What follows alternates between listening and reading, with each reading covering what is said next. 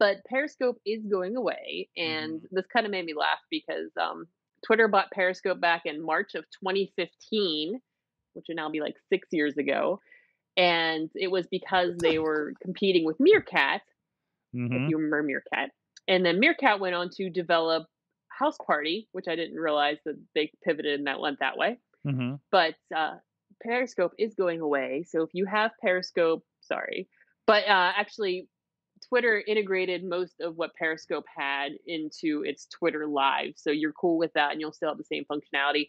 Um, but if you have videos on Periscope, they I'm not sure. It doesn't really say what's going to happen to the videos. I don't think I found that part. But um, something cool with Periscope going away is something where you could become a super broadcaster. This this was very limited uh, when Periscope was you know up and chugging along, and essentially you could do your videos and people could tip you and you could cash out those tips and make actual money. Uh, but they're relaxing the requirements to become a super broadcaster. So if you're on Periscope now and you're, you're posting videos with Periscope now, it wouldn't hurt to look to see if you can become a super broadcaster um, and then maybe make some money. And then you'll have so the app will go away. It sounds like in March it'll be out of the store, um, of the online store, on the interwebs stores.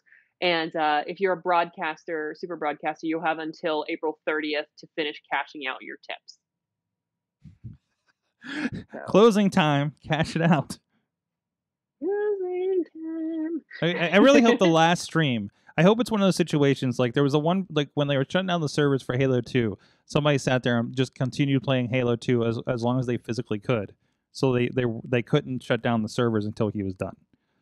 I hope somebody just streams closing time over and over again until they shut down the servers, and that's like the last stream. We could be that actually. we should just do that on all of our feeds until until they're done. Oh, oh, so yeah. Oh, wait, I found it. So if you have existing broadcasts that you shared on Twitter, they'll exist as exist as replays, and you also have the ability to download an archive of your content before it goes away. So if you Nice. have things in Periscope you want, download it now. Here's a question: How do you go Mhm. live on Twitter Live if you're Joe Schmo unverified user? Because I don't know that that is a ready function for anybody. I haven't seen it. I haven't tried to go live on Twitter because Yeah, there's no, there's no, there's, there's like you hit your photo thing. Oh, there is a live button.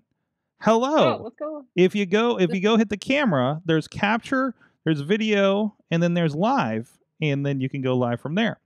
Okay now how do i put this live is the next question and that's what we need to look into. So um but no if you want to go just with your phone live like that is that is certainly available. So